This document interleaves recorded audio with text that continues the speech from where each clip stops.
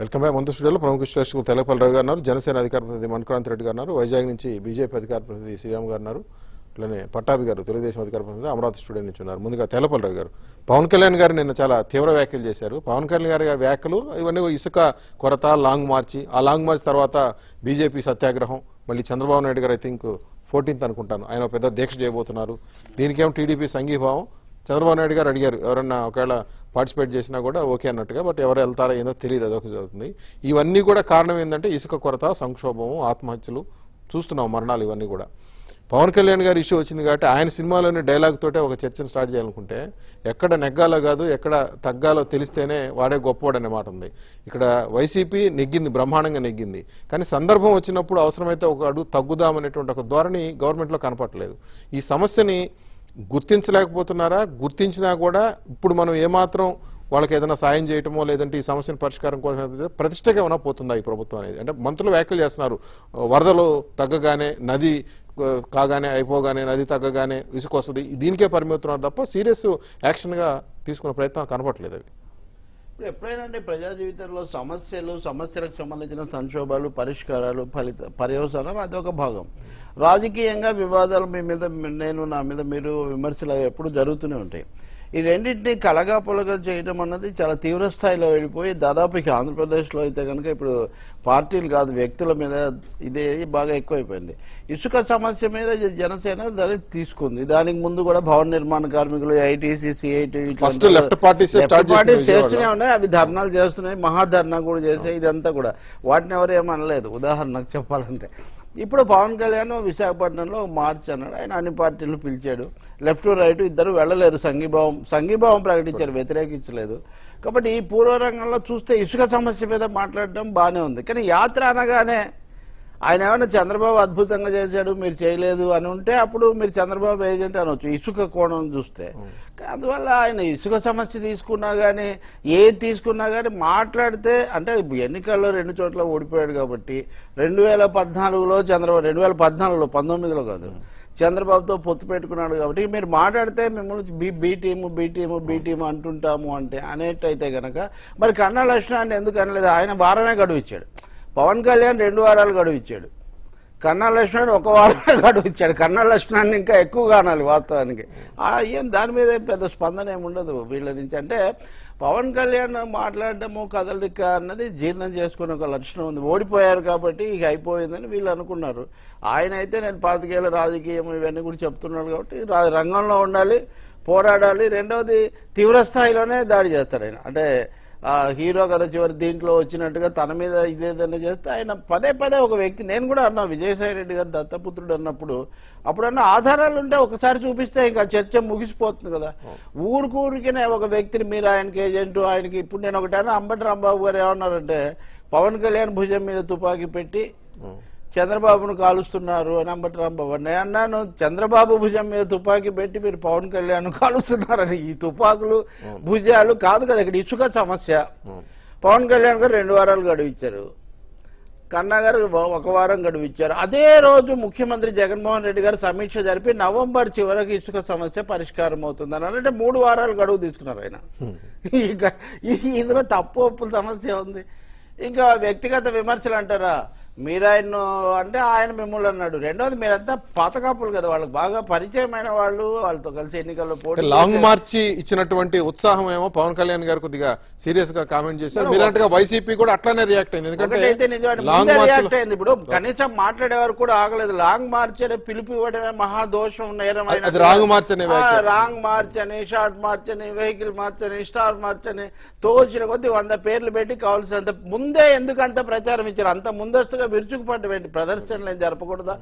ఎవరో అన్నట్టుగా జగన్మోహన్ రెడ్డి గారు పాదయాత్ర చేసి ఊరూరా ఉన్న సమస్యలు కూడా సేకరించి వాటి మీద ప్రకటనలు చేశారు కదా ప్రతిపక్షంలో ఉన్నప్పుడు. కాబట్టి ప్రతిపక్షంలో ఉన్న ఏ పార్టీ అయినా వాటి గురించి మాట్లాడుతుంది. ఆయన ఏమన్నా వ్యక్తిగతంగా చెప్తే వేరే విషయం. చివరి మాట ఇసుక. ఇసుక ఉంది. పెన్నా నదిలో ఉంది తుంగభద్ర నదిలో ఉంది ఉత్తరాంధ్రలో కూడా కొంత ఉంది రాయలసీమలో అటువైపున ఉంది ఇది కర్ణాటకకు పోతుంది తెలంగాణకు పోతుంది చెన్నైకి పోతుంది అని ఆధారాలు చెప్తున్నారు. మాకు ఒక అనుమతి ఇవ్వండి ఒక్క రోజులో మేము ఇసుక తీసుకో ఈ రోజు మధుసూదన్ రెడ్డి చెప్పాడు మీరు ఇందా చూశారు కదా రెండు కోట్ల టన్నులు ఇసుక అవసరమైతే యాభై లక్షల టన్నులు దొరుకుతుందని అధికారికంగా చెప్తున్నారు. ఇంత సమస్య ఉన్నప్పుడు ఆత్మహత్యలు జరుగుతున్నప్పుడు దాని గురించి మాట్లాడకుండా ఎలా ఉంటారు? ఇక వ్యక్తిగతంగా ఒక మాట ఎక్కువ అన్నారా తక్కువ అన్నారని కదా ముగిస్తే మంచిది. భుజాలు తుపాకులు మానేసి ఆ పనిచేసే భుజాల మీద ఇటుకలు ఉండేటట్టుగా చూడటం ఇప్పుడు చాలా చాలా అన్నట్టుగా ఇప్పుడు పవన్ కళ్యాణ్ గారో లేకపోతే చంద్రబాబు గారు ఎవరి తుపాకి ఎవరు పిలుస్తున్నారు కానీ ఇక్కడ. చస్తున్న మాత్రం జనం కదా. ఆ సమస్య ఎవరెన్ని ఆందోళన చేసినా దాని గురించే కదా. మనకాంత్ రెడ్డి గారు ఏంటి? నిన్న లాంగ్ మార్చ్ తర్వాత కామెంట్స్ అవి కూడా చాలా సీరియస్ కామెంట్స్ చేశారు పవన్ కళ్యాణ్ గారు. పులివెందుల్లో రాజధాని పెట్టుకోండి సారీ కర్నూలులో కోర్టు పెట్టుకోండి రావచ్చు.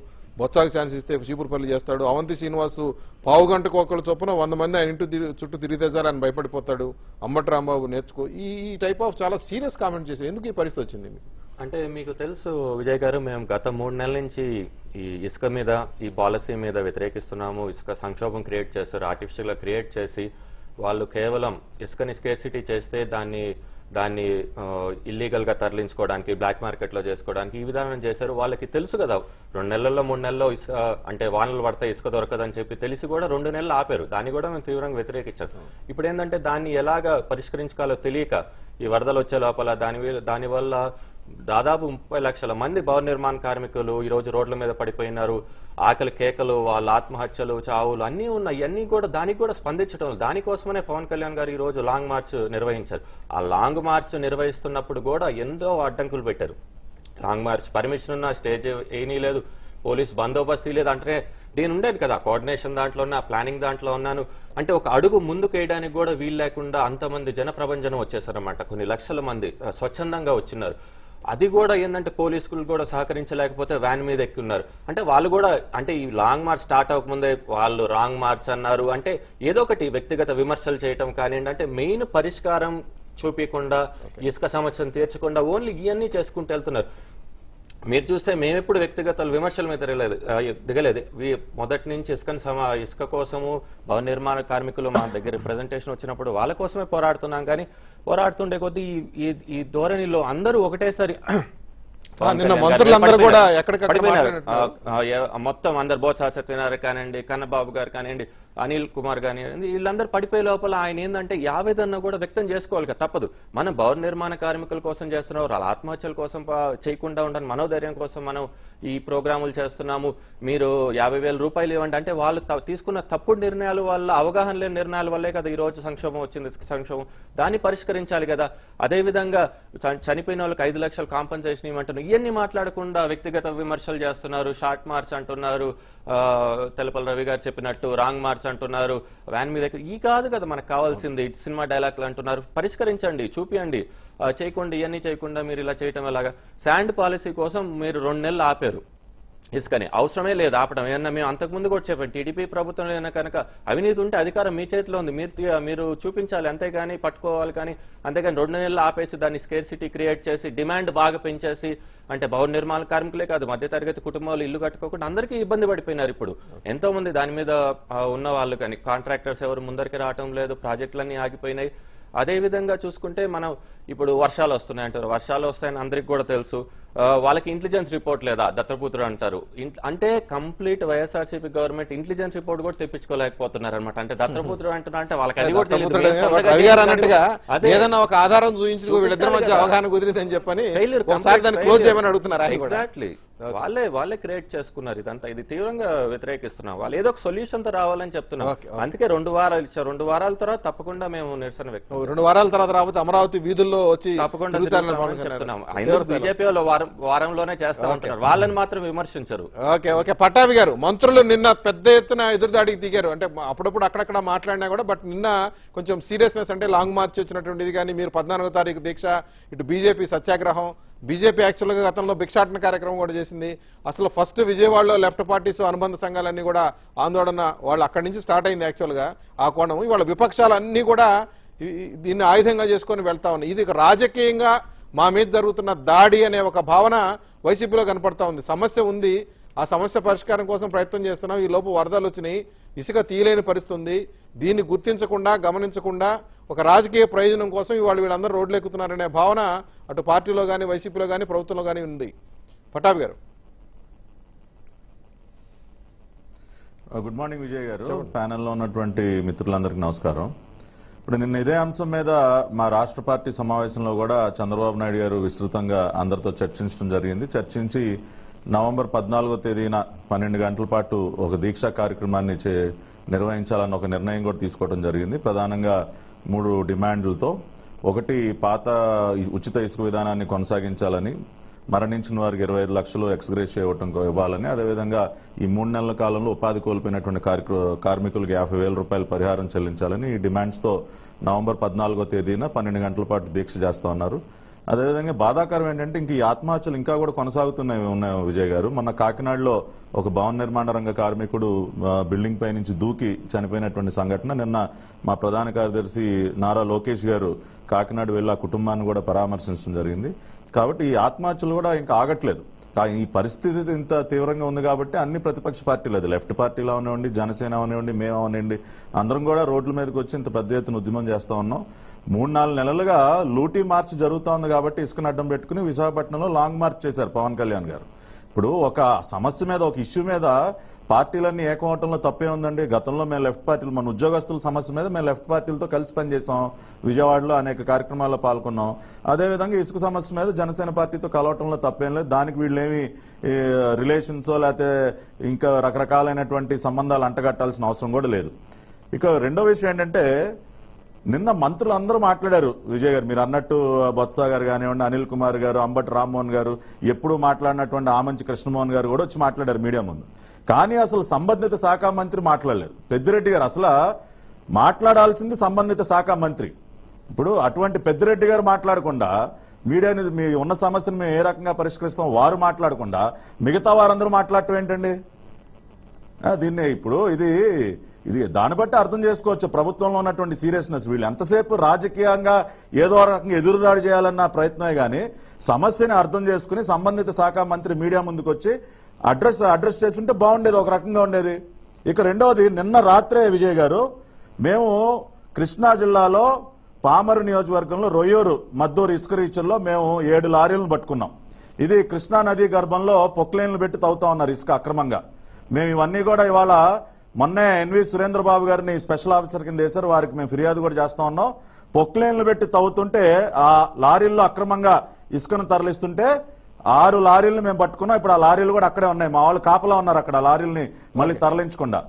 ఇంత పెద్ద ఎత్తున వీళ్ళు వరదలు ఉన్నాయి అదున్నాయి ఇదున్నాయి అని చెప్తూ ప్రతిరోజు కూడా వందల లారీల ఇసుక అక్రమ రవాణా జరుగుతూనే ఉంది. ఇన్క్లూడింగ్ కృష్ణా గుంటూరు జిల్లాల్లో కూడా ఏదో వరదలు వచ్చే ఇసుక లభ్యత అవటం అవ్వట్లేదు అన్నది పూర్తి అవాస్తవం. కాబట్టి ఇవన్నీ కూడా జరుగుతున్నాయి కాబట్టే తెలుగుదేశం పార్టీ కానివ్వండి ఇతర ప్రతిపక్ష పార్టీలన్నీ కూడా ఉద్యమం చేస్తా ఉన్నాయి. తప్పనిసరిగా రేపు పద్నాలుగో తేదీన జరిగేటటువంటి కార్యక్రమానికి కూడా మేము తెలుగుదేశం పార్టీ కాకుండా మిగతా రాజకీయ పక్షాలన్నింటిని కూడా ఆహ్వానించాలనుకుంటున్నాం.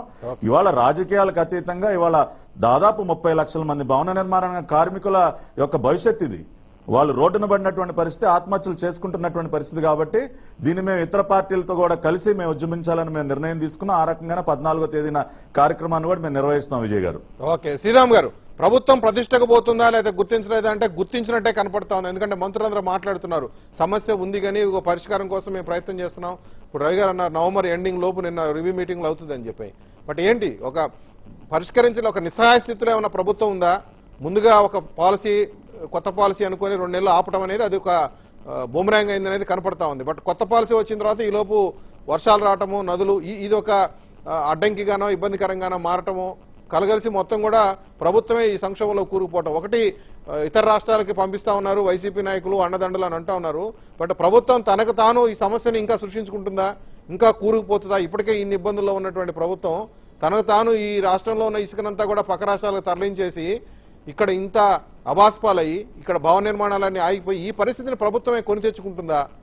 లేదంటే ఒక సమస్యలో కూరుకుపోయి బయటకు రాలేకపోతా ఉందా? శ్రీరామ్ గారు. శుభోదయం విజయ్ గారు. మీకు మిగతా ప్యానల్ మెంబర్స్కి రోమ్ నగరం తగలబడిపోతుంటే నీరవ్ చక్రవర్తి హ్యాపీగా వైలిన్ వాయించుకుంటూ ఎంజాయ్ చేశాడు. అలాగా ఉంది ఈ ప్రభుత్వం పరిస్థితి. సరే మీరు చెప్పినట్టు విజయ్ గారు మొదట్లో ఏదో కొంచెం ఒక నాలుగు నెలలు ఆలస్యం చేశారు ఏదో చేద్దాం అనుకున్నారు అది ఏదో అయింది. సరే అది అయిపోయిన తర్వాత ప్రతిపక్షాలు అయితే ఎప్పటికప్పుడు చెప్తూనే ఉన్నాయి. ఐదు ఎప్పుడైతే ఈ కొత్త పాలసీని తీసుకొచ్చిన తర్వాత ఇది కూడా వర్కౌట్ కాదు ఈ వరదల్లో ఇది కూడా వర్కౌట్ కాదు అని చెప్పి ప్రభుత్వం కూడా గుర్తించింది. గుర్తించిన తర్వాత అందరూ చెప్పడం మొదలెట్టారు తప్పు జరిగింది తప్పు జరిగింది తప్పు జరిగింది అని చెప్తున్నారు. చెప్తున్నప్పుడు మేము దానికి పరిష్కారాలు చెప్పాం. ప్రతిపక్ష పార్టీలన్నీ పరిష్కారాలు చెప్పినాయి. మొట్టమొదట బీజేపీ చెప్పింది బాబు వీళ్ళందరూ కూడా ఆత్మహత్యలు చేసుకునే పరిస్థితికి వెళ్ళారు. ఎందుకంటే మేము రోడ్డు మీద భిక్షాటన చేయడానికి వెళ్ళిన పరిస్థితుల్లో వాళ్ళందరి సంగతి ఎలా ఉందో వాళ్ళ పరిస్థితి ఎంత దారుణంగా ఉందో దయనీయంగా ఉందో మేము చూసిన తర్వాత కన్నా లక్ష్మీనారాయణ గారు క్లియర్గా చెప్పారు బాబు రోజుకి మూడు వందలు చొప్పున. ఎందుకంటే ఈ రోజు రెక్కాడితే కానీ డొక్కాడిని మనుషులు వీళ్ళంతా. వీళ్ళకి మిగతా వాళ్ళలాగా వీళ్ళకి ఏం సేవింగ్స్ ఉండవు. ఈ రోజు ఉంటే మస్తు లేదంటే పస్తు. అటువంటి పరిస్థితిలో వీళ్ళకి కనీసం రోజుకు మూడు వందల చొప్పున వీళ్ళకి ఒక ఎక్స్క్రేషియా లాగా ఇవ్వండి లేదా కనీసం నెలకు ఒక పదివేలు లాగా ఇవ్వండి అని క్లియర్గా చెప్పాం. ఇది చేయడానికి ఏం చెప్పండి? మీకు ఈ ప్రభుత్వానికి నిజంగా చిత్తశుద్ధి ఉంటే మీరు నిజమే. మీకు వరదలు వచ్చినాయి మీరు తీలేకపోతున్నారు లారీ డిస్గా తీలేకపోతున్నారు అనుకుందాం. అనుకున్నా కూడా ఎవరైతే బాధపడుతున్నారో వాళ్ళకి ఇవ్వడానికి మీకు ఏంటి నొప్పి? మీకు మీ అన్ని స- గ్రామ సచివాలయాలకి జెండాలు జాతీయ జెండాని కూడా తీసేసి రంగులు వేసుకోవడానికి పదకొండు వందల యాభై కోట్ల పైన ఖర్చు పెడుతున్నారని వార్తలు వస్తున్నాయి. దీనికి డబ్బులు ఉంటాయా? మీకు పప్పు బెల్లాల స్కీమ్లన్నిటికీ డబ్బులు ఉంటాయా? కానీ ఆత్మహత్యలు చేసుకుంటున్న భవన నిర్మాణ కార్మికులకి మీకు ఇవ్వడానికి డబ్బులు ఉండవా? ఎందుకని ఈ నిర్లిప్త అందుకే అన్నాను ఇందాక. నీరజ చక్రవర్తి లాగా ఉంది ఈ జగన్మోహన్ రెడ్డి గారి పరిస్థితి అంటే సమస్యను గుర్తించడం ఒక ఎత్తు దాన్ని ఎలాగోలా పరిష్కారం చేయాలన్న చిత్తశుద్ధి లేకపోవడం ఇంకోటి. ఈ రెండోది చాలా ప్రమాదం. గుర్తించడం అనేది చేసినంత మాత్రం సరిపోదు. పరిష్కారం చేయాలి. పరిష్కారం నువ్వు నీకు తెలియకపోతే ప్రతిపక్షాలు చెప్తున్నాయి. చెప్తున్నప్పుడే నన్ను గుర్తించాలి కదా వాళ్ళు ఆత్మహత్యలు చేసుకుంటే వాళ్ళని ఆపడానికి ప్రయత్నించాలి కదా. ఇప్పుడు కనీసం చనిపోయిన వాళ్ళకు కూడా ఇప్పటిదాకా ఎక్స్గ్రేట్ చేయలేదు ఇంకా మిగతా బతికున్న వాళ్ళ సంగతి వదిలేయండి. ఆల్రెడీ చనిపోయిన వాళ్ళకి కూడా ఒక పైసా ఇవ్వలేదు ఇప్పటిదాకా ఈ ప్రభుత్వం. అంటే ఎంత నిర్లిప్తంగా నా ఇష్టం నాకు నూట యాభై సీట్లు ఉన్నాయి నేను ఇష్టారాజ్యంగా చేస్తాను ఎవరేం చేస్తారో చూస్తాను అన్నట్లాగా ఉంది తప్ప దీన్ని పరిష్కరిద్దామన్న ఉద్దేశం ఈ ప్రభుత్వానికి ఏమాత్రం కనిపించట్లేదు. అదేవిధంగా ఇంకోటి విషయం ఏంటంటే వీళ్ళు ఇదే రకంగా కనుక ముందుకెళ్తే ఇంకా ఈ ఉద్యమం తీవ్ర రూపం దాలుస్తుంది. ఇప్పుడు ప్ర- పార్టీలు మాత్రమే వచ్చి ప- అంటే ఒక బీజేపీ వచ్చింది తర్వాత కమ్యూనిస్టులు వచ్చారు తర్వాత తెలుగుదేశం వచ్చింది తర్వాత ఇప్పుడు పవన్ కళ్యాణ్ గారు వచ్చారు. రేపు పొద్దున మొత్తం జనం రోడ్ల మీదకి వస్తారు. ఆ స్టేజ్ తెచ్చుకోకముందే దీన్ని పరిష్కరించాలి. పరిష్కరించకపోతే మాత్రం అనుభవించేది ప్రభుత్వమే విజయ్ గారు. ఓకే శ్రీరామ రవి గారు ఇందాక అన్నట్టుగా ఇష్యూని గుర్తించకపోవడం అనేది ఉంది బట్ సమస్య నుంచి ఎట్లా బయటపడాలి అది లేకపోయినా కనీసం భవన నిర్మాణ కార్మికులు ఆత్మహత్యలు జరుగుతున్నప్పుడు ముఖ్యమంత్రి గారి నుంచి ఆ స్థాయిలో కనుక ఎందుకంటే ఒక పక్క అనేక స్కీములు ఉన్నాయి కదా చేనేత కార్మికులకి స్కీములు ఉన్నాయి మత్స్య కార్మికులకి ఉన్నాయి నెల ఎవ్రీ ఇయర్ అమౌంట్స్ ఇవన్నీ కూడా స్కీమ్స్ చాలా ఉన్నాయి. అట్లాంటిదే భవన నిర్మాణ కార్మికులు అనేది ఒక కాంపోనెంట్ కింద మీకు ఏదైనా నేను ఒక స్కీమ్ ఆలోచిస్తున్నా లేదా చనిపోయిన వాళ్ళు మీరు వద్దని ఒక ముఖ్యమంత్రి నోటి నుంచి కనుక ఆ- స్థాయిలో వస్తే ఒక భరోసా కొంచెం డిఫరెంట్గానే ఉండి ఉంటుంది కానీ ఆ దానికి అసలు సిద్ధంగా లేదు ప్రభుత్వం. అదే ఇక్కడ వస్తుంది. ఇప్పుడు సమస్యను గుర్తించడం ఒకటి సృష్టించడం ఒకటి అండి. మిగతా వాళ్ళు చేయడానికి తెలుగుదేశం చేయడానికి కొంత తేడా ఉండొచ్చు. ఎందుకంటే తెలుగు ముఖ్యమంత్రి చంద్రబాబు నాయుడు ఉన్నప్పుడు కూడా అనేక సార్లు సమీక్ష చేసి ఇసుక మాఫియా ఈ సమస్యలు ఉన్నాయని తెలుగుదేశం ప్రభుత్వం కూడా గుర్తించింది. కానీ పరిష్కారం కాల ఆ చివరి వరకు అలాగే కొనసాగింది. ఈ ప్రభుత్వం దాన్ని పరిష్కరించబోయి మరింత జటిలం చేసింది. అది కుప్పస్వామి మేడ్ డిఫికల్ట్ లాగా దీన్ని ఇంకా పెంచింది. పెంచిన క్రమంలో ఏమైంది? ఇప్పుడు సముద్రం అడుగున వంతెనలు నిర్మిస్తున్నారు సార్. సముద్రం అడుగున వంతెనలు నిర్మిస్తున్న కాలంలో వరదలు వచ్చాయి కాబట్టి మేము ఇసుక తీయలేము అని చెప్పడము. అంత ఇంత సుదీర్ఘమైన సముద్ర తీరము నదీ తీరాలు ఉన్నటువంటి ఆంధ్రప్రదేశ్లోనే ఇసుక దొరకకపోతే ఇంకా భారతదేశంలో అక్కడ దొరికే? ఇంత లాంగ్ కోస్ట్ ప్రపంచంలో కూడా చాలా తక్కువ ప్రాంతాలకు ఉంటుంది. కాబట్టి ఇక్కడ వ్యూహం లేదు సమన్వయం లేదు సమర్థత లేదు. ఇంకోటి సృష్టిస్తున్నారా పెంచుతున్నారా అనే సందేహం కూడా కలుగుతుంది. అంటే ఎందుకంటే దీని నుంచి పదివేల కోట్ల దాకా ఆదాయం వస్తుంది. గతంలో పోయింది. ఆదాయం తెచ్చుకోవాలి. తెచ్చుకోవాలనే ఒక ఆలోచన. అట్లా ప్రభుత్వానికి వస్తున్న దాఖలాలు కూడా కనపట్లేదు అది. రావట్లేదు అదే అనుకున్నారు అనుకోనిది అంతా కూడా చేశారు. అది అది ఏదో అది చేయకపోతే ఏదో అయినటువంటి పరిస్థితి. ఇంకా సంక్షేమ నిధి ఉన్నా కానీ ఆత్మహత్యలకు ఎందుకు ఇవ్వడం లేదు? అంటే ఆత్మహత్యలు జరుగుతున్నాయన్న వాస్తవాన్ని గుర్తించడానికి ప్రభుత్వం సిద్ధంగా లేదు. మీరు ఏ క్షణంలో అయితే ఒక ఆత్మహత్య చేసుకున్న వ్యక్తికి ఎక్స్క్రేషియా మీరు ఇచ్చారో నాకు నిన్న రాత్రి ఒక మిత్రుడు ఫోన్ చేశాడు. నా మీద చాలా గౌరవం ఉన్నాడు. ఆయన చేసి మీరు పక్కదోవ పడుతున్నారు సార్ మా గుంటూరు జిల్లాలో చనిపోయిన ఇరవై మందిలో ఒక్కరు కూడా దీని బాబు నేను వేరే విషయాలు ఏమని చెప్పు. అంత పక్కదోవ కాదు నా దగ్గర పేర్లతో సహా ఉన్నాయని చెప్పా. రెండోది తాపీ కార్మికుడు గుండెకి చనిపోయాడు అనుకోండి. అది అది నిజమని మనం చూసి మానవీయ దృక్పథంతో ఆదుకోవాలా? లేకపోతే ఆయన రెండు వేల పదిహేడులోనే ఆయనకు వచ్చింది ఇప్పుడు కాదని మనం అలాంటి ఇన్వెస్టిగేషన్ పోవాలా? ఇప్పుడు పాద జ- జ- రాజశేఖర రెడ్డి గారి కోసం చనిపోయారని జగన్ పాద అప్పుడు ఓదార్పు యాత్ర చేశారు. కొంతమంది దాని మీద ఎక్కువగా రంధ్రాన్వేషణ చేస్తే వద్దులేండి వాళ్ళదేదో అన్న ఇక్కడ పని చేసేవాళ్ళు. వాళ్ళు అడ్డ కూలీలాగా అక్కడికి వెళ్ళి నిలబడి దొరికితే పని చేసేవాళ్ళు. ఎన్ని చైన్ ఎఫెక్ట్ లాగా పోతుంటే దాని మీద దృష్టి పెట్టకుండా తప్పకుండా ఇరువైపులా కూడా జనసేన తెలుగుదేశం పార్టీలు కూడా రాజకీయ విమర్శల కంటే ఇసుక మీద ఎక్కువ కేంద్రీకరిస్తే మంచిదని నేను కూడా చెప్తాను. కానీ మీరు బ- బంతిని ఎంత వేగంగా అయితే అంత కొడుతుందని విశాఖలో ర్యాలీ అనగానే అసలు జరగకముందే దాన్ని రాంగ్ మార్చి అంటే ఎందుకు? దానికి అనుమతులు నిరాకరించడం ఎందుకు? బీటీ ఆయన బీ టీమో సి టీమో ఏ టీమే అనుకుందాము? అనుకుంటే మటుకు ఇసుక గురించి మాట్లాడకూడదు. ముఖ్యమంత్రి గారే సమీక్ష చేస్తున్నారే? అది జగన్మోహన్ రెడ్డి గారిని కూడా అనాలి. ఎందుకని ఆయన సమీక్ష చేసి ఇసుక లేదు? నిలబడుతుందని చెప్తున్నారు కదా. కాబట్టి ఇక్కడ సమస్య ఉండొచ్చు కానీ మీరు మాట్లాడడం తప్పు అని చెప్పే ఈ ధోరణి కానీ చూడడానికి నిరాకరించడం కానీ మూడవది వరదలు వరదలు వరదలే కాదు అవినీతి బురద పెరుగుతుంది. ఆధిపత్య బురద పెరుగుతుంది. ఇందాక ఓ మంత్రి గారు ఎందుకు మాట్లాడడం లేదంటే ఆ మంత్రి గారికి సంబంధించిన లారీలు కూడా పట్టుబడ్డాయని మీడియాలో వచ్చింది. ఇవన్నీ కూడా వాస్తవాలు. కాబట్టి చీమ తలకాయంత అవినీతికి కూడా చోటు ఇవ్వరని చెబుతున్నటువంటి ముఖ్యమంత్రి గారు ప్రభుత్వము ముందు ఇసుకతో దాన్ని ప్రారంభిస్తే చాలా బాగుంటుంది. ఆయనది రాంగ్ మార్చ్ అవునో కాదో నాకు తెలియదు కానీ అంబటి రాంబాబు గారు రాంగ్ పద్యం తివిరి ఇసుమును తైలంబు తీయవచ్చు తవిలి మృగతృష్ణ ఈ పద్యంతో మొదలు పెట్టారు ఇసు ఇసుకలో తైలమే తీస్తున్నారు కానీ ఇసుక తీయటం లేదు మహాన్ బావ ఇసుక తీయండి. ఇసుక తీస్తున్నారు, తైలం వేరే వాళ్ళకి తైలం. వేరే వాళ్ళకి వెళ్ళిపోతుంది. కాబట్టి పద్యం కూడా సరిగ్గా లేదు మంచి పద్యం చూడని అని చెప్తున్నా మణికాంత్ రెడ్డి యాక్చువల్గా పవన్ కళ్యాణ్ గారి గురించి మంత్రి చేసిన వ్యాఖ్య ఏంటంటే మూడు వందల పుస్తకాలు చదివిన పవన్ కళ్యాణ్ నదులు ఫుల్గా ఉన్నప్పుడు ఇసుకెట్ట తీయాలో చెప్పమన్నారు.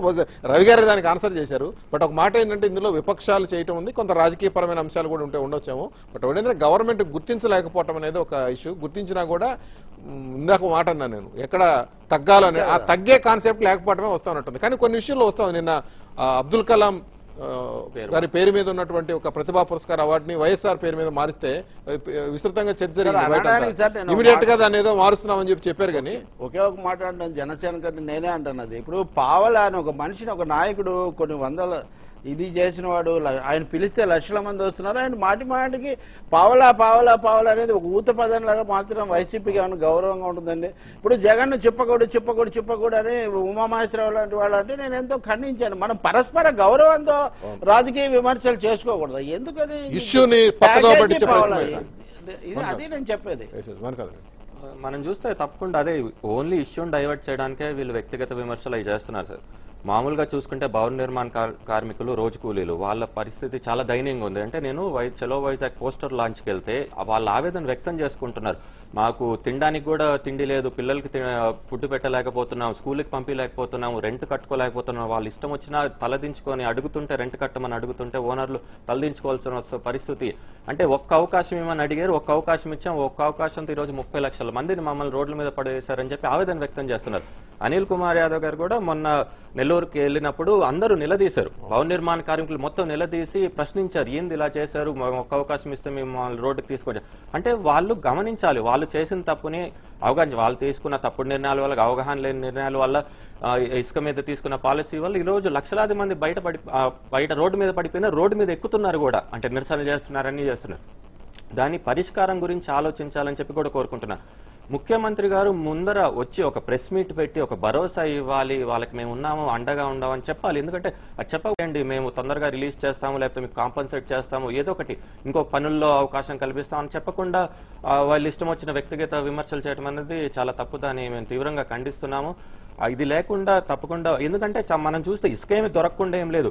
మామూలు సామాన్యులకైతే ఈ సేవకి వెళ్తే ఇసుక దొరకడం లేదు పది నిమిషాల్లో క్లోజ్ అయిపోతుంది అదే రాత్రులు కావాలంటే మీకు ఎన్ని టన్నులు కావాలన్నా దొరుకుతుంది. అది ప్రాబ్లం లేదు. అదే విధంగా చెన్నైకి బెంగళూరుకి హైదరాబాద్కి అంతా తరలిస్తున్నారు. ఇంకా ఇసుక తరలిస్తుంది తరలించకుండా ఏం లేదు. ఎందుకు ఒక మా అధికార పక్ష ఎమ్మెల్యేనే ఒప్పుకున్నారు కదా. ఇసుకలో అక్రమాలు జరుగుతున్నాయి మాఫియా ఉంది అన్నీ ఉన్నాయి. నేను ప్రత్యక్ష యుద్ధం చేస్తున్నారు. యుద్ధం ఎవరి మీద చేయాలి? వాళ్ళే అధికారంలో ఉన్నప్పుడు వైఎస్ జగన్మోహన్ రెడ్డి గారి మీద చేయాలి. అది కూడా క్లారిటీ. సో వీళ్ళందరికీ భరోసా ఇవ్వాలి తప్పకుండా చెప్పాలి. పవన్ కళ్యాణ్ గారు జనసేన తీసుకుని చాలా మంచి స్టాండ్. ఇప్పుడు ఏం ఎలక్షన్లు లేవు. మేము అంత హడావిడి కోసం కానే కాదు. ఓకే. పట్టాభి గారు లాంగ్ మార్చ్ రాజకీయం కోసం కాదన్నారు బట్ వైసీపీ విమర్శ ఇక ఇసుక కొరతనో సంక్షోభానో దీన్ని ఒక రాజకీయ ఆయుధంగా వాడుకుంటున్న ప్రతిపక్షాలు పోరాటం చేసి ఇందాక చెప్పాను. లెఫ్ట్ పార్టీస్ ఫస్ట్ విజయవాడలో స్టార్ట్ చేసి తర్వాత భారతీయ జనతా పార్టీ అందుకుంది. సరే మీరు కూడా చేశారు ధర్నాలు చేశారు. తర్వాత లాంగ్ మార్చ్ పేరుతో పవన్ కళ్యాణ్ గారు పెద్ద ఎత్తున చేశారు. దాన్ని ఒక బల ప్రదర్శన చేసుకునే ప్రయత్నంగా వైసీపీ చెప్తా ఉంది. అందులో టీడీపీ వాళ్ళు కలిశారు. ఫస్ట్ టైం మీరు జనసేన వేదిక మీద టీడీపీ అగ్రనేతలు కూర్చోబెట్టారు. మళ్ళీ వాళ్ళు మీరు ఒక దీక్ష చేయబోతున్నారు. సత్యాగ్రహం మధ్యలో కనలేశ్వర గారు చేశారు. టైం ఇస్తున్నారు. ఇట్లా విపక్షాలన్నీ కూడా దీన్ని ఒక రాజకీయ ఆయుధంగా వాడుకొని ప్రభుత్వం మీద దండెత్తే ప్రయత్నం చేస్తాయి అనేది ఒక వైసీపీ ఆరోపణ. ఇప్పుడు విజయ్ గారు వచ్చే నాలుగున్నర సంవత్సరాల వరకు ఇంకా ఎన్నికలేమి మనం ఎదుర్కోబోట్లేదు రాజకీయం చేయాల్సిన అవసరం ఏముందండి? ఏదో ఓటు నాలుగు ఓట్ల కోసం లేదంటే రాజకీయంగా లబ్ధి పొందడం కోసం మేము ఇప్పుడు ఇవన్నీ కూడా చేయాల్సిన అవసరం లేదు. ఎందుకంటే ఎన్నికలు కూడా సమీపంలో ఏం లేవు. ఇవాళ కార్మికులు పడుతున్నటువంటి కష్టాలు మనం ప్రత్యక్షంగా చూసిన తర్వాత స్పందించడం అనేది ప్రతిపక్షాల బాధ్యత. ప్రజా సమస్యల పట్ల స్పందించి గట్టిగా ప్రభుత్వాన్ని నిలదీయటం అనేది మా బాధ్యత. మేము ఆ బాధ్యతనే నిర్వర్తిస్తా ఉన్నాం. తెలుగుదేశం పార్టీ పక్షాన కానివ్వండి ఇతర రాజకీయ పార్టీలన్నీ కూడా అదే పందాలు వెళుతూ ఉన్నాయి. ఇవాళ ఆత్మహత్యల పరంపర ఆవన్న ఆగిందా? ప్రతిరోజు ఏదో ఒక జిల్లాలో ఇంకా కూడా ఆత్మహత్యలు జరుగుతూనే ఉన్నాయి. ఇంత జరుగుతుంటే ముఖ్యమంత్రి గారు స్పందించకపోగా మంత్రులు ఎంత అవహేళనగా మాట్లాడుతూ ఉన్నారండి?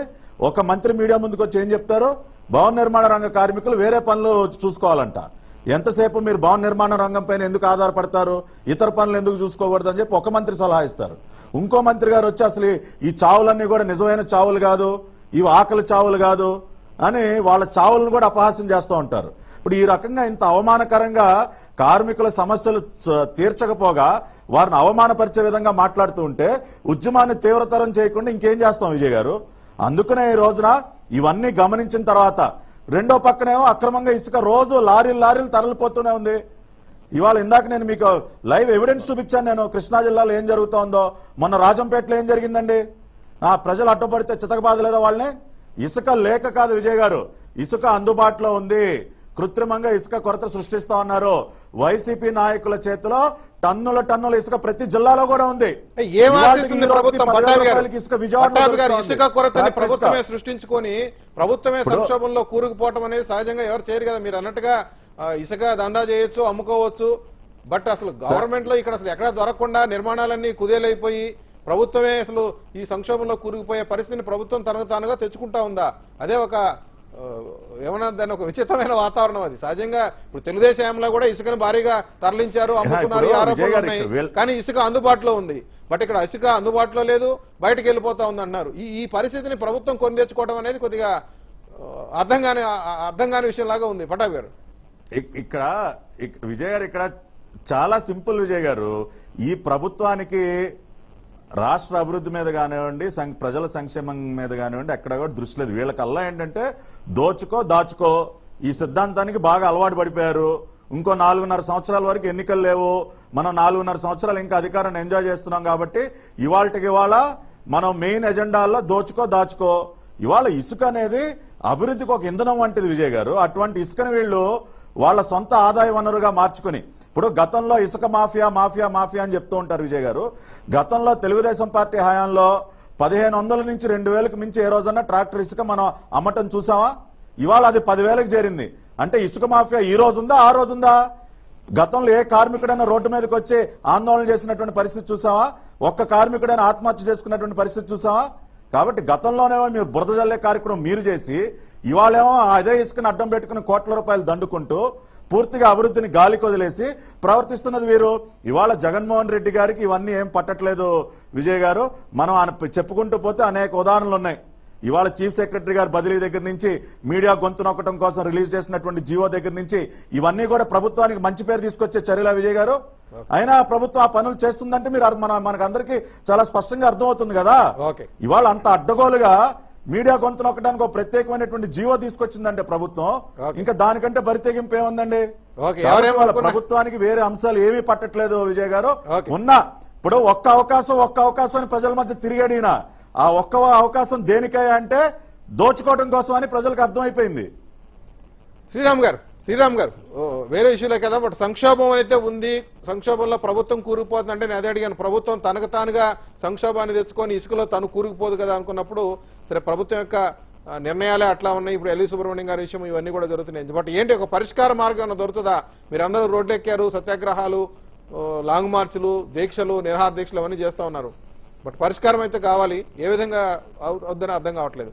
కనీసం భవన నిర్మాణ కార్మికులు ఆత్మహత్య చేసిన వాళ్ళకి పరిహారం కానీ ఒక భరోసా ఇంకెవరు కూడా ఆత్మహత్య చేసుకోకుండా అటువంటి ఒక భరోసానో లేదంటే అటువంటి ఒక ధీమానో వాళ్ళకి కల్పించాల్సిన అవసరం ఉంది. శ్రీరామ్ గారు. ఇప్పుడు విజయ్ గారు నిద్రపోయేవాడిని అయితే లేపచ్చండి. నిద్ర నటించేవాడిని ఏం లేపుతాం? ఎవడ ఏం మాత్రం ఏం చేయగలరు? ఎక్కడ ఏమీ జరగట్లేదంటారు. అసలు ఇసుక అసలు బయటకే బయట రాష్ట్రాలకు వెళ్ళట్లేదంటారు. స్వయంగా మీ నెల్లూరు రూరల్ ఎమ్మెల్యేనే చెప్పాడు మొత్తం నా దగ్గర నుంచి నా ఏరియా నుంచి మొత్తం అంతా మద్రాసుకి వెళ్ళిపోతుందని. మీ సిగ్గు ఉండాలి కదా అసలు ఈ ప్రభుత్వానికి. అప్పుడన్నా కళ్ళు తెరవాలి కదా. ఇప్పుడు ఇందాక రవి గారు చెప్పారు ఒప్పుకోవడానికి వాళ్ళు ఏదో గుండెపోటుతో పోయారు అంత ముందే గుండెపోటు వచ్చింది. నేనేమంటున్నానంటే సెల్ఫీలు తీసుకుని మరీ చచ్చిపోతున్నారు. అది కూడా మీకు కనిపించట్లేదా ఈ ప్రభుత్వానికి? లేదంటే నిన్న కాకినాడలో భవనాన్ని పైనుంచి దూకి చచ్చిపోయాడు. అది కూడా కనిపించట్లేదా? ఇవి గుండెపోటు అంటే మీరు చెప్పొచ్చు. ఇవి కూడా కనిపించట్లేదా ఈ ప్రభుత్వానికి? ఇంత దారుణంగా ఉంటే ప్రతి ఇంకా ఈయన చెప్తారు జగన్మోహన్ రెడ్డి గారు మొత్తం అంతా డీజీపీ గారిది బాధ్యత. ఎవరు ఎక్కడ బయటకు వెళ్ళకుండా చూడండి అని. అసలు మరి మీ ఎమ్మెల్యేనే చెప్పిన తర్వాత అసలు ఈ డీజీపీ గారు ఏం చేస్తున్నారు? ఈ పోలీస్ వ్యవస్థ అంతా ఏం చేస్తుంది? ఇంటెలిజెన్స్ ఏం చేస్తుంది? ఇంకోటి ఆన్లైన్లో జీపీఎస్ కూడా ఉంది. ఎక్కడ లారీ ఎక్కడికి వెళ్తుందో మినిట్ టు మినిట్ మీకు తెలుస్తుంది అంటారు అంటే ఈ రాష్ట్రాన్ని దాటి వెళ్ళిపోతున్నా కూడా అసలు ఈ జీపీఎస్ పనిచేస్తుందా? అసలు ఈ ఆన్లైన్ వ్యవస్థ పనిచేస్తుందా? ఎందుకు ఇంత లోపభూయిష్టమైన విధానం? ఇంత లోపభూయిష్టమైన విధానం పెట్టి ఇంత దారుణంగా చేస్తున్నా సరే నెమ్మకు నేరెత్తినట్టు ఈ ప్రభుత్వం ఉందంటే ఒకటే విజయ్ గారు మనకి ఇంకా నాలుగున్నర ఏళ్ళు ఉంది ఒక ఆరు నెలల సంవత్సరం శుభ్రంగా దోచుకు తినేద్దాం. ఆ తర్వాత నుంచి మళ్ళీ మొదలెడదాం. ఈలోపు ఈ నాలుగేళ్ళలో పాతవన్నీ ప్రజలు గుర్తుపెట్టుకోరు. వీళ్ళంతా మతిమరుపు వాళ్ళు ఈ ప్రజలు. అందువల్ల ఒక సంవత్సరం దోచేసుకుని ఆ తర్వాత లాస్ట్ ఇయర్లో ఎప్పుడు చూద్దాం సంక్షేమ కార్యక్రమాలు మిగతా ఏదైనా ప్రజాకర్షక పథకాలని ఇక కనబడుతుంది తప్ప ఇక్కడ దీన్ని నివారించే మార్గాన్ని చూద్దాం అన్న ఎక్కడ చిత్తశుద్ధి మాత్రం క్లియర్ కట్గా కనిపించట్లేదు విజయ్ గారు. ఓకే ఓకే ఒక మాట చెప్తా. వేరే విషయానికి వెళ్ళే ముందు గతంలో ఈ సమస్య లేదని కదా. గతంలో ఈ సమస్య తప్పకుండా ఉంది. నేను మీకు చెప్పా కదా అప్పుడు అవినీతి ఉన్న ఇసుక దొరికేది. అప్పుడు అవినీతి ఉచితంగానే ఇసుక ఇస్తామన్నారు. ఉచితం అన్నదాన్ని రెండు వేలు పదివేలు దాకా పెట్టినటువంటి పరిస్థితి ఉంది. అందుకనే వాస్తవాన్ని మనం గుర్తించడానికి రెండవది సంక్షేమ పథకాలు ఏవో వాళ్ళు వీళ్ళు చేసిన అంత సంక్షేమం చేసేవాళ్ళు చచ్చిపోతున్న వాళ్ళని ఎందుకు పట్టించుకోవట్లేదు అనేది ఇక్కడ ప్రశ్న. ఆ సంక్షేమ పథకాలు వీళ్ళు అనర్హులా? ఆ సంక్షేమం తక్షణం సంరక్షణ వీళ్ళకి కల్పించండి. ముందు సంరక్షణ పథకాలు తర్వాత సంక్షేమ పథకాలు ఇసుక సంక్షోభం సంరక్షణ కంటే. ముందు ప్రాణరక్షణ. సంరక్షణ అదే ప్రాణరక్షణ ప్రాణరక్షణ ఆర్థిక వ్యవస్థ రక్షణ ఆర్థిక లేపాల రక్షణ చేయండి మీరు. రెండోది రాజకీయ విమర్శలు అవి మీరు పక్కన పెట్టండి. అవి తర్వాత మీరు చేసుకోండి. అది కలగాపలగం చేయకండి. అందరూ వరుసగా వచ్చి దాని మీద ప్రభుత్వం నుంచి అత్యవసర ప్రకటన రాకపోతే మటుకు కావాలనే ఉపేక్షిస్తున్నారు. దీన్ని ఒక వనరుగా పెంచుకుంటున్నారు. దీని మీద వాళ్ళకేవో అల్టీరియర్ మోటివ్స్ ఉద్దేశాలు ఉన్నాయని చెప్పి మనం అనుకోవాల్సి వస్తుంది. ఇతర రాష్ట్రాలకు వెళ్ళటమే కాదు ఇక్కడున్న నాయకులు కూడా దీంతో వ్యాపారాలు చేస్తున్నారు. అందులో ఇంకేం పట్టాభి గారితో మాట్లాడదాం. పట్టాభి గారు నిన్న చంద్రబాబు నాయుడు గారు రియాక్ట్ అయ్యారు. ఎల్వి సుబ్రహ్మణ్యం గారి బదిలీకి సంబంధించిన అంశం అందరికీ ఎల్వి పరిస్థితి అని చెప్పి అన్న అంటూ నంగనాచిలా మాట్లాడిన వాళ్ళు తీరితే చెప్పిన పనులు చేసిన వాళ్ళకి ఒకసారి జైలు పాలు చేశారు మళ్ళీ నమ్మితే అంతే బట్ ఒక ఇష్యూ ఇది. ఒక ముఖ్యమంత్రికి ఒక చీఫ్ సెక్రటరీకి మధ్యలో ఒక ఇష్యూ జరిగింది. దానికైనా వాళ్ళు ట్రాన్స్ఫర్ చేశారు. దీన్ని ఓవరాల్గా అన్నిటికీ కలగలిపి మొత్తం ఇదే పరిస్థితి అనే మాట ఎందుకుంటుంది తెలుగుదేశం పార్టీ? పటాబి గారు ఇప్పుడు విజయ్ గారు జగన్మోహన్ రెడ్డి గారు సుబ్రహ్మణ్యం అన్న నాకు పెద్దన్న లాంటి వాడు నేను ఏ పని చేసినా సుబ్రహ్మణ్యం అన్న సలహాతోనే నేను చేస్తానని అనేక సందర్భాలు అన్న మాటలు మన అందరికీ తెలుసు. కానీ ఇవాళ సుబ్రహ్మణ్యం గారి పరిస్థితి ఏమైంది? అత్యంత అవమానకర రీతిలో నాటకీయ పరిణామాల మధ్య ఆయన్ని బదిలీ చేశారు. బదిలీకి దారి చేసినటువంటి పరిణామాలు ఒకసారి కనుక మనం చూసినట్లయితే ప్రతి ఒక్క మంత్రిత్వ శాఖలో కానివ్వండి సీఎం కార్యాలయంలో కానివ్వండి సలహాదారుల వ్యవస్థ అనేది ఒకటి తీసుకొచ్చి అధికారులకి స్వేచ్ఛ లేకుండా చేసినటువంటి వ్యక్తి గౌరవ ముఖ్యమంత్రి గారు. ఆ తర్వాత మొన్న అక్టోబర్ ఇరవై ఐదో తేదీన ఒక జీవో విడుదల చేస్తారు. GO number one twenty eight. Business రూల్స్ని మాడిఫై చేస్తూ చీఫ్ సెక్రటరీ గారికి అసలు సమాచారం ఇవ్వకుండా వీళ్ళు బిజినెస్ రూల్స్ నే మాడిఫై చేస్తారు చీఫ్ సెక్రటరీ గారికి ఉన్నటువంటి అధికారాలకి కత్తెర వేస్తారు. ఆ తర్వాత ఎవరైతే బిజినెస్ రూల్స్ మాడిఫై చేస్తూ జీవో ఇచ్చారు ప్రవీణ్ ప్రకాష్ గారు చీఫ్ సెక్రటరీ గారు షోకాజ్ నోటీస్ ఇస్తే ఆ షోకాజ్ నోటీస్కి సమాధానం సమాధానం ఇవ్వకుండా షోకాజ్ నోటీస్కు అందుకున్నటువంటి అధికారే చీఫ్ సెక్రటరీ గారిని బదిలీ చేసేస్తారు. ఇవన్నీ అసలు ఇటువంటి సంఘటనలు మనం చూసామండి గతంలో. అంతేకాకుండా ఇవాళ దీనికి ఇంకొక కోణం కూడా ఉంది విజయ్ గారు. నిన్న నేను ఇదే ఛానల్ డిబేట్లో కూడా చెప్పా. మొన్న ఈ మధ్య కొత్తగా జగన్మోహన్ రెడ్డి గారు బిల్డ్ ఏపీ అనే ఒక కొత్త పాలసీ తీసుకొచ్చారు. ఈ బిల్డ్ ఏపీ ఏంటంటే రాష్ట్రంలో ఉన్నటువంటి ప్రభుత్వ ఆస్తులన్నీ కూడా అమ్మే విధానం అన్నమాట ఇది. ఎక్కడ ప్రభుత్వ ఆస్తులు ఉంటే వాటిని అమ్మి డబ్బు చేసుకోవటం. ఆ విధానాన్ని తీసుకొచ్చారు. ఆ విధానం తీసుకొచ్చిన సందర్భంలో ఎల్వి సుబ్రహ్మణ్యం గారికి ముఖ్యమంత్రి గారికి విభేదాలు ఉన్నమాట వాస్తవం. ఇది పై పై స్థాయి ఐఏఎస్ అధికారుల్లో నడుస్తున్నటువంటి చర్చ. ఎందుకంటే పాపం ఎల్వి గారు గతంలో ఒకసారి చేయి కాల్చుకున్నారు. ఈ భూముల వ్యవహారంలో. వారి తండ్రి గారు ముఖ్యమంత్రిగా ఉన్నప్పుడు అది ఎంఆర్ భూముల్లో కానివ్వండి వ్యాన్పిక్ భూముల్లో కానివ్వండి పాపం ఆయన చేయగాల్చుకుని అనేక కోర్టుల చుట్టూ తిరిగాడు ఆయన. ఆ అనుభవంతో అయ్యా మీకు నమస్కారం. మళ్ళీ ఇటువంటి ఈ భూముల పందారం కార్యక్రమాన్ని మీరు ప్రారంభించొద్దు. మళ్ళీ నేను దీనిలో అనవసరంగా నన్ను ఇరికించే ప్రయత్నం చేయొద్దని పాపం ఆయన ముఖ్యమంత్రి గారితో విభేదించారు. దాని ఆ కారణం చేతి కూడా సిఎస్ గారిని బదిలీ చేశారన్న సమాచారం ఉంది. దానికి అనుగుణంగానే సిఎస్ గారిని బదిలీ చేసిన మరుసటి రోజే ప్రభుత్వం జీవో విడుదల చేస్తుందండి. GO number four seven released on fifth November immediately after the transfer of chief secretary. ఆ జీవోలో ఏముందండి స్పష్టంగా ప్రభుత్వ భూములు అమ్మే విధానానికి పచ్చ జెండా ఊపే జీవోని మీరు చీఫ్ సెక్రటరీ గారిని ట్రాన్స్ఫర్ చేసిన మరుసటి రోజే మీరు ఎలా ఎలా విడుదల చేశారు? దానిలో చాలా స్పష్టంగా all secretariat department shall make necessary amendments to the respective acts and rules to enable the transfer of ownership of government lands అంటే దీన్ని ఏమనుకోవాలండి? ఇది కుట్ర కాదా? అంటే మీరు ప్రభుత్వ భూములను అమ్ముకుని కోట్లు దోచుకోవాలని చెప్పినటువంటి కోట్లు దోచుకోవడానికి వేసినటువంటి స్కెచ్కి ఎల్వి సుబ్రహ్మణ్యం గారు మీరు ఒక అడ్డంకిగా మారారు కాబట్టి ఆయన్ని మీరు అడ్డగోలుగా దారుణంగా ట్రాన్స్ఫర్ చేసి ట్రాన్స్ఫర్ అయిపోయిన మరుసటి రోజే మీరు జీవో విడుదల చేస్తారా? దీనికి ఏం సమాధానం చెప్తారు? మొన్న ఏపీఎస్ఆర్టీసీలో కూడా అదే జరిగింది. ఎలక్ట్రిక్ బస్సుల టెండర్లు తెరిచే ముందు రోజే ఎన్వి సురేంద్రబాబు గారిని మీరు ట్రాన్స్ఫర్ చేస్తారు ఎలక్ట్రిక్ బస్సుల విషయంలో ఆయన అనేక సందేహాలు లేవనెత్తారు కాబట్టి సురేంద్రబాబు గారి ట్రాన్స్ఫర్. ప్రభుత్వ భూముల పందారానికి ఎల్వి గారు అడ్డంకిగా మారారు కాబట్టి ఎల్వి గారిని తీసేస్తారు మీరు. ఇదంతా కూడా ఒక కుట్రలో భాగంగా జరిగింది విజయ్ గారు. అందుకనే చంద్రబాబు నాయుడు గారు హెచ్చరించారు. మిగతా ఐఏఎస్ అధికారులు కూడా ఎవరైతే ఈ రోజున అన్న అన్న అంటున్నాడు కదా అని చెప్పి ఆయన ట్రాప్లో కనుక పడితే మీరు అడ్డగోలుగా ఇరుక్కుంటారని చెప్పి నన్ను చంద్రబాబు నాయుడు గారు అధికారులందరినీ కూడా హెచ్చరించడం జరిగింది. ఓకే ఓకే పట్టాభి గారు శ్రీరామ్ గారు. తెలుగుదేశం కాన్సెప్ట్ అయితే అది భూములకు సంబంధించి వాళ్ళ పత్రికలో కూడా వచ్చింది స్థలం ఏదైనా పరిశీలన ప్రభుత్వ శాఖల భూములే కాదు విద్యా సంస్థలో కూడా అమ్మకం స్వయం ప్రతిపత్తి ఉన్న సంస్థలకు కూడా మినహాయింపు లేదని. బట్ దీనికి అంతా కూడా కాన్సెప్ట్ నవరత్నాలకి నిధులు సమీకరించడం అట్లానే ప్రభుత్వ పాఠశాలలు నాడు నేడు అనే ఒక కాన్సెప్ట్ తీసుకొచ్చి ఇవాళ ప్రభుత్వ పాఠశాలలు ఎలా ఉన్నాయి? రెండేళ్ళ తర్వాత ప్రభుత్వ పాఠశాల యొక్క రూపురేఖలన్నీ మార్చేయాలి. కాంపౌండ్ వాల్స్ మరుగుదొడ్లు కట్టడం కానివ్వండి స్కూల్ బిల్డింగ్లు రిపేర్లు కానివ్వండి ఫర్నిచర్ ఇవన్నీ చేయాలి. ఇవన్నీ చేయడానికి డబ్బులు లేవు కాబట్టి ఇదిగో ఈ భూములన్నీ చేయాలనేది కాన్సెప్ట్. ఈ భూముల అమ్మకంలో వచ్చేటువంటి సమస్యలు దాన్ని దృష్టిలో పెట్టుకొని ఏమన్నా మరి ఎల్వి ఎల్వి గారు అభ్యంతరం పెట్టారనేది సరే టీడీపీ సందేహం. శ్రీరామ్ గారు. విజయ్ గారు చెప్పండి. ఇది మొత్తం అంతా కూడా ఐఆర్ఎస్ అంటావా? ఐఏఎస్గా ఉంటావా? అని ఆయనకి ఒక ఛాన్స్ ఇచ్చుంటారు. నేను ఐఏఎస్ గానే ఉంటాను ఆయన చెప్పుకుంటాడు. అందుకని తీసి పక్కన పడేశారు. ఐఏఎస్ అనే వాళ్ళే కావాలి మాకు ఐఏఎస్లు మాకు అవసరం లేదని ఈ ప్రభుత్వం ఒక నిర్ణయానికి వచ్చింది అందుకని తీసి పక్కన పడేసి ఉంటారు. ఇక్కడ నవరత్నాలు అంటున్నారు. ఈ నవరత్నాలు నిజంగా నవరత్నాలు కాదు ఇవి నవరంధ్రాలు. ఈ రాష్ట్రానికి అభివృద్ధికి ఈ నవరంధ్రాలు ఇవి. అలాగే ఈ రాష్ట్ర బడ్జెట్కి నవరంధ్రాలు. ఇదే విషయాన్ని సుబ్రహ్మణ్యం గారు చెప్పుకుంటాడు అందుకనే తీసి పక్కన పడేశారు. ఇంకొక విషయం ఏంటంటే నిన్న మనం చూస్తే ఒక క్రిస్టియన్ సంస్థ. సరే దానికి ముందు వెళ్ళే ముందుగా ఎందుకంటే మళ్ళీ మేము బీజేపీ కాబట్టి మీరు రకరకాలుగా మాట్లాడతారు విశ్లేషకులు మిగతా వాళ్ళందరూ. శ్రీరామ్ గారు అదే అందుకే చెప్తున్నా. అదే. ఒక్క రవి గారి గురించి కాదు రవి గారి గురించి అంటే ఇక్కడ నేను చెప్పేది ఇది సెక్యులర్ దేశం. ఈ సెక్యులర్ ఆ, ఈ సెక్యులర్ దేశంలో అందరూ కూడా సెక్యులర్ విధానాలను అనుసరించాలి తప్ప ఏ పార్టీ అయినా బీజేపీ అయినా ఇంకో అయినా. అలాగే ఈ దేశంలో ఉన్న ప్రజలు కూడా సెక్యులర్ విధానాలను అనుసరించాలి. మోస్ట్ ఆఫ్ ది పీపుల్ అలాగే అనుసరిస్తున్నారు. అది ముస్లిమ్స్ కానీ క్రిస్టియన్స్ కానీ హిందువులు కానీ. కానీ కొంతమంది ముస్లింలు ఈ రోజున మనం చూస్తున్నాం దేశానికి వ్యతిరేకంగా తీవ్రవాదం వైపు మళ్తున్నారు అదే విధంగా ఈ రాష్ట్రంలో కొన్ని చర్చి మాఫియా ఏదో కొంత తయారైంది ఆ చర్చి మాఫియా అందరూ కాదు నేను క్లియర్గా చెప్తున్నాను. అందరూ కాదు కొంతమంది చర్చి మాఫియా తయారయ్యి ఇక్కడ ఈ రాష్ట్రంలో మత విద్వేషాలు సృష్టించే ప్రయత్నాలు చేస్తున్నారా అన్న అనుమానాలు. నిన్న ఒక ఒకళ్ళు ఒక చర్చికి సంబంధించిన వాళ్ళు కొన్ని లేఖలు రాశారు. ఒక లేఖ. ఈ లేఖ చూస్తే క్లియర్గా మత విద్వేషాలు సృష్టించే ప్రయత్నం చేస్తున్నట్టుంది.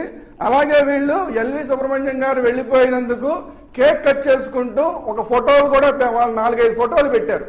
ఈ నాలుగైదు ఫోటోలు మళ్ళీ వెనకాల ఒక ఛానల్ బోర్డు కూడా ఉంది అది ఏ ఛానల్ నాకు తెలియదు కానీ అది ఒక ఛానల్ బోర్డు కూడా ఉంది. సో ఇటువంటివి జరుగుతూ ఉంటే ఈ రా ఇప్పుడు ప్రతి ఒక్క సామాన్యుడికి కూడా ఏం డౌట్ వస్తుందంటే ఈ రాష్ట్రం ఏమైనా ఒక విధమైన చర్చి మాఫియా చేతుల్లోకి వెళ్ళిపోతుందా? చర్చి మాఫియా చేతుల్లోకి పదే పదే మాఫియా ఏదైనా మాఫియానే. క్లియర్ శ్రీరామ్ గారు శ్రీరామ్ గారు శ్రీరామ్ గారు మీరు అంటే అది అది వ్యక్తులకు సంబంధించిన అంశమే. లేదా శ్రీరామ్ గారు శ్రీరామ్ గారు మీరు అన్న దాంట్లో ఆ. పదం కరెక్ట్ కాదు. మీరు అన్నట్టుగా. లేదా ఎవరన్నా అటువంటి విశేషాలు సృష్టించడమో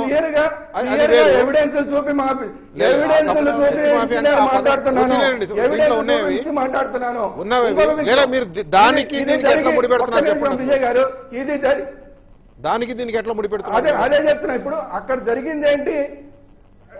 అక్కడ జరిగింది ఏంటి? ఎల్వి సుబ్రహ్మణ్యం గారి ట్రాన్స్ఫర్ జరిగింది. ఎల్వి సుబ్రహ్మణ్యం గారు ఏదో హిందుత్వులకి అనుకూలంగా పనిచేస్తున్నారు. ఇటువంటి వాళ్ళని తీసేయండి అని మేము మా ప్రార్థన వల్లే జరిగింది ఇదంతా అని చెప్తున్నారు. ఇది నిజంగా జరిగిందా అని సామాన్యుడికి డౌట్ వస్తుంది. ఇప్పుడు కేకులు కట్ చేసుకోవడాలు డైరెక్ట్గా ముఖ్యమంత్రికి లెటర్ రాసిన తర్వాత ఇరవై నాలుగు గంటలు గడిచింది ఈ ప్రభుత్వం ఏం చర్యలు తీసుకుందండి? ఎందుకు అనుమానం రాదు సామాన్యుడికి? ప్రతిదీ డీజీపీ గారు చర్యలు తీసుకోవాలి. ప్రతిదీ అని ముఖ్యమంత్రి చెప్తారు. డీజీపీ గారు ఏం చేస్తారు ఇరవై నాలుగు గంటలు డైరెక్ట్గా ముఖ్యమంత్రికి ఇలా లెటర్లు రాస్తే మత విద్వేషాలు సృష్టించేలాగా డీజీపీ గారు ఏం చేస్తున్నారు? సామాన్యుడికి అనుమానం రాకుండా ఎలాగుంటది? మీరు మీడియాని సోషల్ మీడియాని అన్నింటినీ మేమేదో కంట్రోల్ చేస్తామని ఒక ఒక బిల్లు కూడా తీసుకొచ్చారు జీవో తీసుకొచ్చారు. ఇప్పుడు అది ఏమైంది? ఇంత డైరెక్ట్గా ముఖ్యమంత్రికి లెటర్ రాస్తుంటే ఏం చేస్తుంది పోలీస్ వ్యవస్థ? దీనికి సమాధానం చెప్పాలి కదా.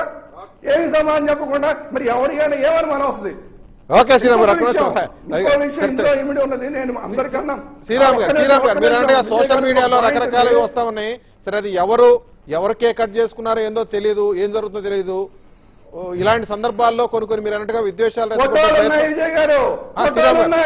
ఫోటోలు ఫోటోలు విజయ్ గారు లేదా, నేను అనేది ఇలాంటి సందర్భాల్లో విద్వేషాలు రెచ్చగొట్టేటువంటి. ప్రయత్నాలు కూడా జరగవచ్చు? కాబట్టి కాదు కాదు శ్రీరామ్ గారు నేను అనేది దీన్ని ఎవరికో ఒకళ్ళకైతే ఆపాదించలేం కదా ఇప్పుడు విద్వేషాలు రెచ్చగొట్టే ప్రయత్నాలు వ్యక్తులు చేయొచ్చు సంస్థలు చేయొచ్చు అన్నారు కాబట్టి మీరు అన్నట్టు. లేదా ఎవరన్నా ఇటువంటి ఉద్దేశాలు రెచ్చగొట్టే. ప్రయత్నం చేస్తే మీరు అన్నట్టుగా పోలీస్ శాఖ దాని మీద ఎంక్వైరీ చేసి. చేయాల్సిన అవసరం అయితే ఉంటుంది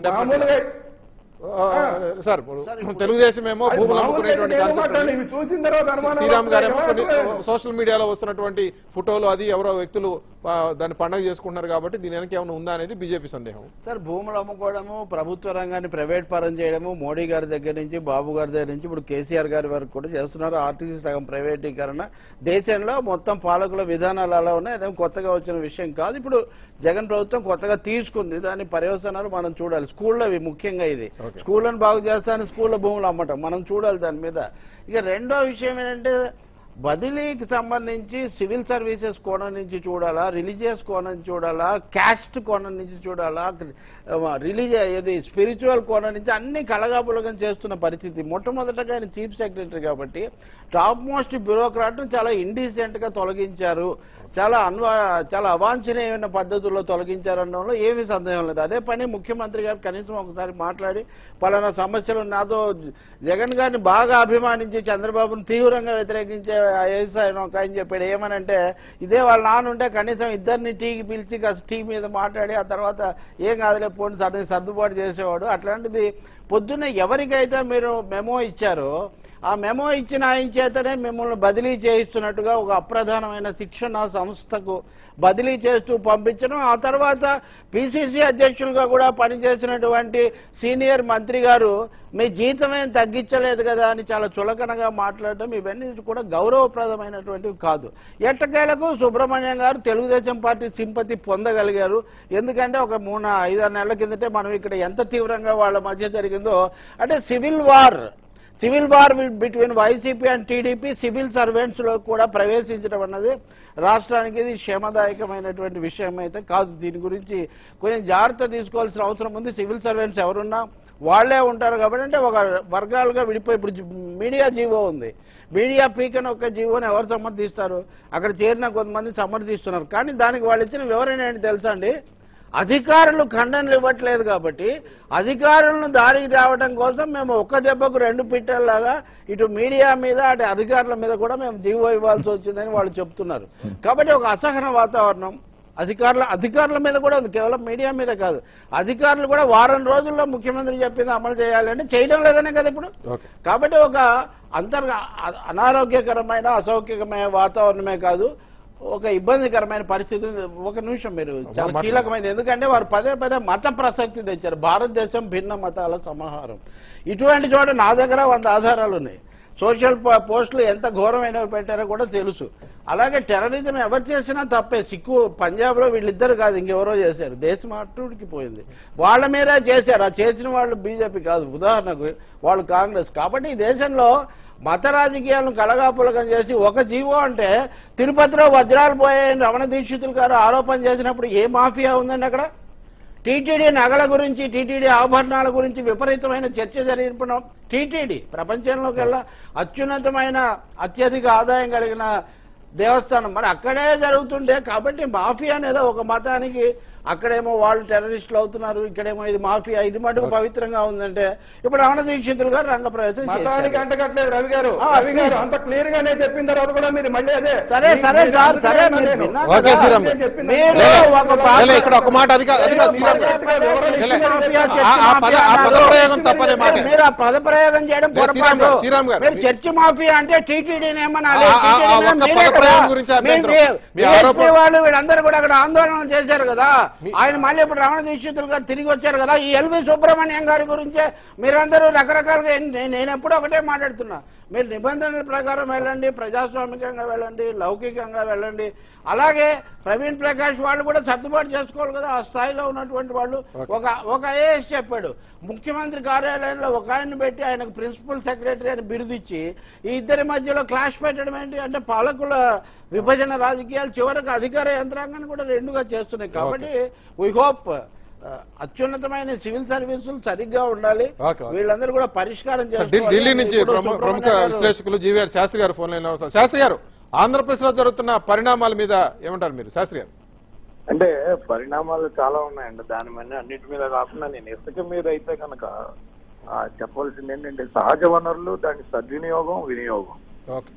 సద్వినియోగం వినియోగంలో సహజ వనరుల పాలసీ అది integrated policy from the beginning it's the wrong okay. అసలు మన భారతదేశం ఈ సహజ వనరుల వినియోగం అయిన పాలసీ ఉంది. అది రాంగ్ అది.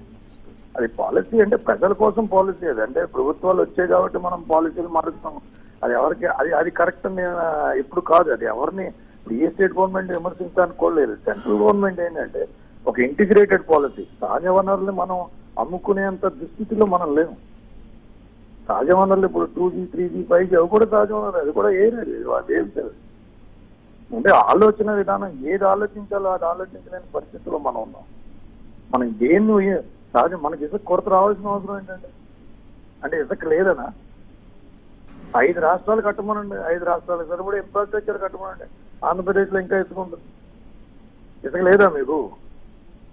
అది కాదు కదా సమస్య.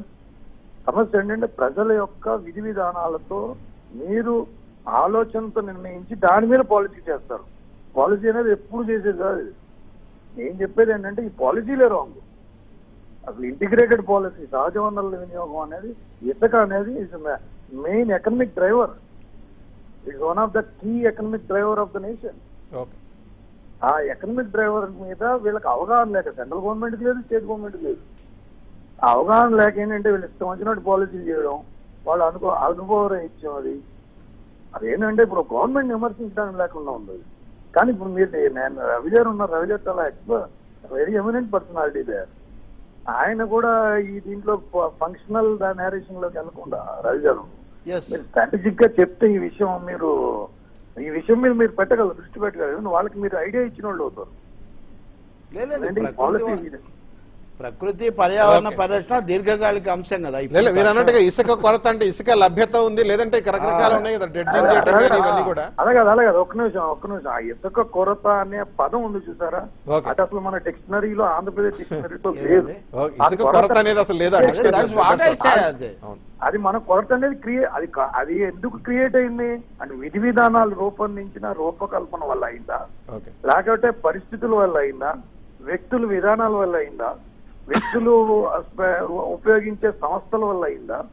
అదే అనేది ఆలోచించి చేసుకోవాలి. అంటే ఇప్పుడు ఏంటంటే ప్రతిదీ పాలసీ ఎవరు పడితే వాళ్ళు ఇష్టం వచ్చినట్టు పాలసీని మార్చేయడం. పాలసీ అంటే ఏంటి?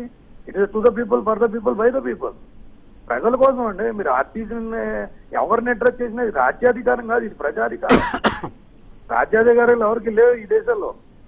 అందరికీ ప్రజాధికారం ప్రజల నుంచి సంక్రమించిన అధికారం. అది ప్రజల చేత ప్రజల కొరకు ప్రజలు చేసే సేవ ఇది ఇది సేవ ఇది. అధికారం చలాయించడం కాదు ఇది. ఇది అధికారం అనేది లేదు. తెలిసిన పవర్ ఇట్స్ ఓన్లీ సర్వీస్ ఆ సర్వీస్లో మీరు ఎలా ఉండాలి? చాలా విధి విధానాలు మీరు ఆలోచన విధానంతో ఉండాలి. ఎందుకంటే ఇప్పుడు ఆ ఇసుక కొరత అనేది అసలు లేదు అది. ఇప్పుడు లాంగ్ మార్చ్ చేశారా? ప్రజలకు చేశారా జగన్మోహన్ రెడ్డి గారికి తెలుసు చంద్రబాబు నాయుడికి తెలుసు పవన్ కళ్యాణ్కి తెలుసు. ముగ్గురికి తెలుసు ఇసుక కొరత లేదని ఆ ఇసుక కొరత అంటే ఏంటి? మనకు ఆ సహజ వనరులు లేకపోవడం. ఓకే. అర్థమైంది శాస్త్రి గారు అపారమైనటువంటి ఇసుక ఉంది. ఇసుక కొరత అనే పదమే కరెక్ట్ కాదు. విధానాల లోపము వ్యక్తుల సంస్థల లేదంటే ప్రభుత్వము ఏదో చేస్తా ఉంది. దాన్ని సరిదిద్దాలంటున్నారు మీ శాస్త్రి గారు. Correct okay okay. Thank you very much Shastri గారు. Thank you very much. ఇప్పుడు మత సమస్య లేదండి ఆంధ్రప్రదేశ్లో దయచేసి.